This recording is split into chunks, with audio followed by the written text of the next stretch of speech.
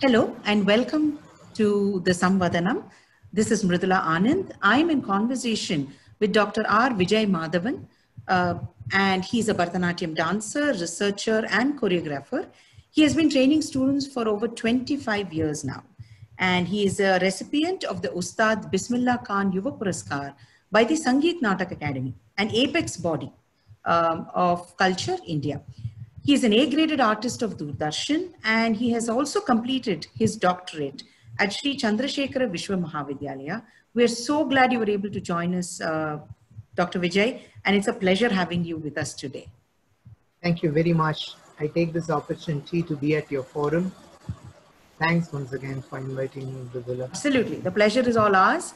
I just wanted to start off asking your background is very different. So why did you decide to pursue dance and uh, why was this so much of a passion for you to continue? When you say different, could I understand in what way it is different? If Well- you let me, I shall follow and thoroughly justify all those answers. no, not at all. I mean, uh, you were working uh, professionally and and then you moved on. Okay. Your education was different, okay. pursued was different. So hence the reason on why you thought this was Okay. something that was so much of a passion.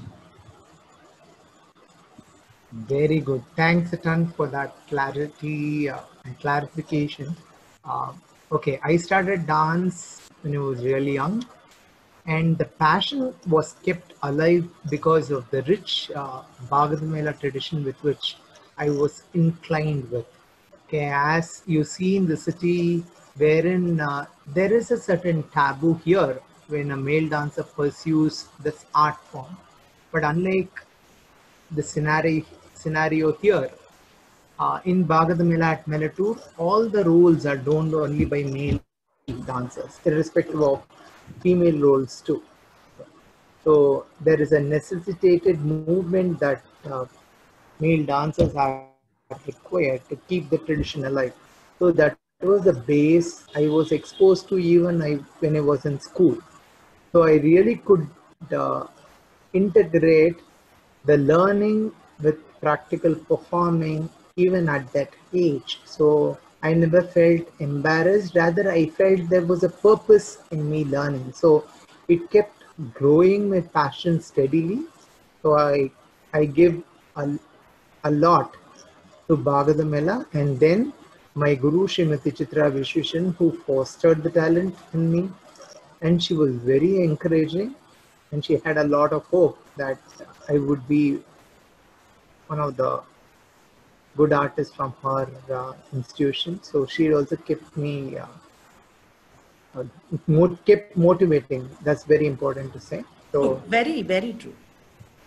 And uh, so, how do you think the Bhagavata Melas uh, sort of tune the artist in you? Like, you know, and what do you see as the challenges for the Bhagavata Melas going forward? first and foremost, uh, okay, as every art form is, financials are really a constraint, and with uh, rapidly moving away towards uh, neoclassical rather than traditional these days. So tradition is somewhere being compromised at many points of time here. So when you say tradition, tradition, they mean they tend to feel that tradition uh, means there is a stunted growth or there is no potential for uh, newer thoughts or new interpretation. Only if you do something rational, deviating, kind of uh, within quotes, it's considered uh, to be creative and all that. But I do differ in that because holding on tradition within boundaries, we are allowed to create. There is so much you can do within boundaries. And um, uh, if you're a Bhagat Mela dancer, artist, then only you will understand the challenges because everyone is in different spheres of the world. They all work and we all just assemble just a day before and we don't um, rehearse like uh, a, uh, like hear how you do for, for uh, performance itself. performances, The correct. entire eight hours performance, eight hours of Natakam goes unrehearsed. So we do a lot of impromptu things only. So because we have been soaked in the tradition for 30 years and all that, so that's what gives us, so we can jump in and take on those shoes at that moment. Right. So it really hones a dancer to have that kind of a manodharmam to play the role, which is very important. I strongly feel because today many times dance is being so much so practiced even to the T that it does not let go of the mano. Uh, it does not let you understand or evoke that manodharma thing even in an abhinaya. If you need to raise this bro, they practice that raising the bro so many times. So it's probably if you are that kind, then probably being traditional is really stunting you. But I wrong, strongly feel you can leave few open ends so that you really feel that you are creative and every time it's not the same. So sorry, Absolutely. There is- deviated from that thing, but still. No, no, no. I, I mean, absolutely spot on because there is this spontaneity uh, that Bhagavatamela sort of pushes you into, which uh, is also very important as a growth of a dancer, right? And um. I'm uh, one question I wanted to ask you is why did you feel there was a need to codify or develop uh, notations for Bharatanatyam? Uh, I mean, what was not there or was there in the text that you wanted to bring out through Natyagraphy, especially? Okay, that's really that's really eyes on the cake. Oh, okay, that's really nice. So such a nice question. Um, okay, if you ask me why there was a need,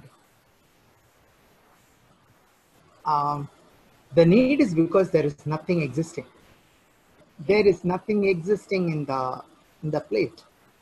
So there's nothing like uh, something I have brought in fresh. It's it's the one and only thing now. And documentation is an interesting tool. It leaves an imprint of history. Changes can be understood and traced. New ideas are really overflowing in, in the art form now. So it should be made mandatory that if we need to roll back, we should have some place of documentation so that you really understand this is what it is and this is what has been made. Because there is so much of i would say it's a positive noise but noise is a noise. So a lot of things overflowing right now. So you really don't know what is going to be there at the end of the day. Right. so all these points i would say is uh, so my question is, we have stick figures. So why not continue with that? What is specifically important uh, that you are addressing through Natyagraphy? I mean, what is it? Can Okay. you actually show Abhinaya? Can you actually, uh, you know, record something to an even greater detail than we have in stick figures? Very good. Your question is very good. One thing is, uh, I have a couple of points. Let me just give you a comparative scale so that uh, we can understand it clearly um, between this and that. Sure. The disadvantage of the stick figures, I would say, it lacks clarity. It is not tala aligned. Suppose you're doing takka takkita and you're doing a beach or something like that. You can probably write takka takkita and show your thing, but you really don't know in which part of the takka takkita is in talam. Takka takkita might be in talam, or takka takkita will be or takka tak takka will be in. Takka might be in talam. Right. So you really don't know in a stick figure where that thing is going on somehow. It is not tala driven. Okay. And uh, a stick figure when you keep drawing, probably in Adavu, or you can write one avartanam tatetaha datetaha if you write. Probably till tatetaha datetaha you can write. Beyond that, the stick figures really looks massive and it's not comprehensive. So I have not seen anybody drafting an entire Jatishwaram itself in a stick figure. I have not seen, even in a rough diagram. Okay. in a rough sketch. Wherever they have doubt, they would write. Otherwise, I have always seen stick figures only until then adavu level. Mhm. But Bharatanatyam is not just adavus alone, right? As performers, we have so many items in our repertoire which needs to be shown. So I strongly feel, and again, using hastas are all very compromised when you use stick figures. So these are the things which I took on when I wanted to create Natyagraphy. Natyagraphy is Thala oriented. So anytime it's Thala driven because you have all the swarams you can write, you can write all the sahityams for which you are going to do. So you really have a parallel system of music coming in wherein your like your uh, varnam is written the swaram will be written for which the corresponding movement which is conceived will be shown. So it gives you a hand in hand, uh, a, a kind of uh, a tool which is assisted. You don't need something, uh, it is an integrated tool, I would say. So you- at any point of time, your tala you would know. Adi if you are when you are it is in lagu and it's in the fourth uh, thing, that's where you are starting a taka takita. You can clearly understand where the takita is going to be. So it really takes it really helps you in understanding the innate rhythm and how it is structured as a choreography. And uh, when you see a dance form, okay, when you watch a dance form, probably you are enjoying all through, but once you see rhythm, what remains you is only that.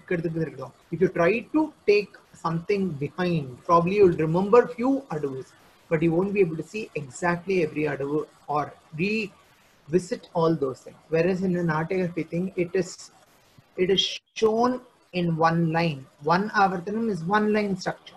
So when you see that, you can see a bird's eye view of an entire avartanam. You can see structure like that. Then it helps you to understand or visualize choreography. You can understand how that choreographer has thought, what has been the fundamental imprints of that choreography. So you can understand a choreographer. A choreographer again, when you say he becomes a master not by just a gift of God on one day. It is through a series of process. So when you start documenting, you understand these processes as hmm. how they have evolved as choreographer. So choreography is not something which can be taught. You have to observe. So for observing, you need material okay then when that's when you become wise you can't everyone cannot reinvent a wheel which is what is happening in our system everyone begins to reinvent a wheel when you want to start choreographing because there's no gurukulam which properly teaches how to choreograph Hmm. so what happens is either you have to learn from your own items as to how it has to be done or you have to start doing it from trial and base um, uh, trial and error methods to keep cleansing yourself, validating yourself, and doing it. So, this Natyagraphy, a documentation, would help an aspirant and develop the passion of becoming a choreographer by studying through systematically few lessons and understanding how it has to be done. So we don't have such a system in our in our Natya arena. So I strongly feel Natyagraphy will be a bone. Absolutely. But um, so you're saying even the minutest details and how the adavus actually sit along with the columns, even that is captured very well in uh, the Natyagraphy technique. And Yes. So these are for adavus. I can understand the, uh, you know, the importance of it. But uh, what about Abhinaya? I mean, do you actually, can you actually capture that to a certain Yes. extent or even uh, Shirobeda, anything other than adavus? Yes. Can I answer your question now? Okay. That was a very nice question. Uh, Natyagraphy is a tool, is a comprehensive tool. It's an end-to-end tool for Bharatanatyam. Suppose you do Tatritaha in an adavu, which is straight. Suppose you say where you are turning, you are facing, and where you're moving. That is that also can be incorporated, and it is Bani independent. Suppose there are Bani differences, like. Hmm? Tattamatu Takka Dimi, I will do in normal Aramandi, whereas I see Kalakshetra people doing in Alidam, wherein they will use, so we use anomalous behavior. That the I, the base does not change, but the way of uh, way of execution, okay, there is some kind of a tweaking thing. There is some kind of a finer thing that's done with the kind of Bani thing that can be like that. We have uh, Sharikal Adavu in Tanjore style, they will sit in Aramandi, uh, bending their knees. That also can be captured when you want capture. Okay, this is all about uh, Adavu But Abhinayam, Abhinayam can be very well captured in Natyagraphy because you can suggest how the hasta has to flow from there to where it flows, how it flows in out or everything can be very neatly uh, presented in Natyagramma. And as you have rightly put in, you can say Shiroveda if you're using this and you are using uh, uh, Sachi or you're using, uh, okay, you are using um, anyone like Kampitam, Udvahitam or Kampitam, Kampitam. or Udvahitam or Adhomukam or any kind of uh, Avadhutam, everything, everything can be captured because this, the logic of knitting it is very simple. Okay, basically you will talk about one uh, X level movement, Y level movement and Z level movement. And you're uh, reusing the same thing. The alphabets are common. Okay, mm. the alphabets are going to be only three. Okay, the three alphabets with two combinations. So wherever you combine it, it's going to get combined. So it's very simple. The vocabulary set is also not very elaborate. Mm. Vocabulary set is also very finite size 20. Okay, if you learn all these 24 things, you will understand the entire thing. That's it. It's simple, but you have to learn those 24 things. That's it. Right, of course. As with any uh, anything that you learn, even if it's a new language, um, you know, this is almost like a, a new language and a, shorthand, if you may say, uh, to quickly document and accurately document dance movement. Very true. Repertoires, more importantly, repertoires and choreographies. Um, in your opinion, in one, maybe a line or two, what do you think will be the contribution of Natyagraphy uh, for the future? I would say Natyagraphy is an elephant tool. Okay, so such a mammoth thing within two lines. Okay, one thing we don't have a documentation. We have lost several of creative works of several gurus because of uh, a lack of a documentation thing. Natyagraphy, I strongly feel, will be a repository tool which can at least protect what we have right now so that we can pass it on to the next generation. Ultimately, every one of us is a custodian of an art form.